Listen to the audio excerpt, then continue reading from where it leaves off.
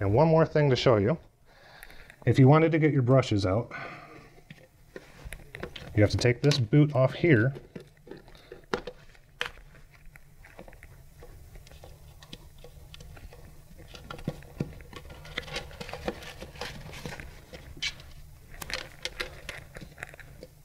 Hmm. You would need to undo this connector. Very important, but keep this off to the side. This is for your imbalance assembly, or your imbalance detector.